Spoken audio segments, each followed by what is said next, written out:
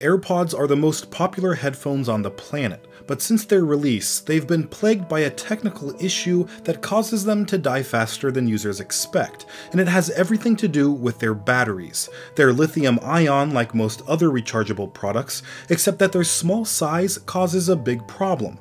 All lithium ion batteries eventually wear out and no longer hold a charge, although the amount of time this takes depends on a variety of factors. If you typically keep the battery level between 40 and 80%, it'll prevent unnecessary wear, but using the product with a full battery until it reaches 10% or less is called a deep discharge, which puts more stress on the lithium ion cells and shortens their overall lifespan. Another battery term you may have heard is cycles. If you completely drain a battery, then recharge it to full, Apple counts that as one cycle. But not all cycles are the same. For example, if you only use half of the battery, charge it back up, and use half again the next day, that would still only count as one cycle, except it was less harmful to the battery's overall health since there were no deep discharges.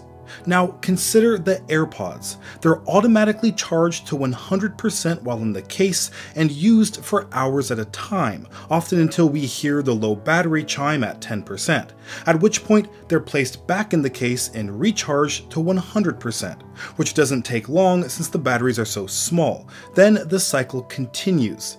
This is why AirPods die so fast. They have great battery life at first, but quickly deplete because of the deep discharge cycles that happen once or even twice a day.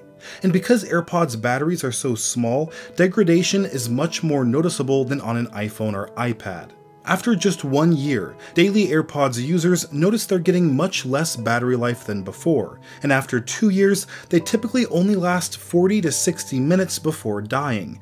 This has been the product's greatest weakness, and it isn't likely to change until major improvements are made to battery technology.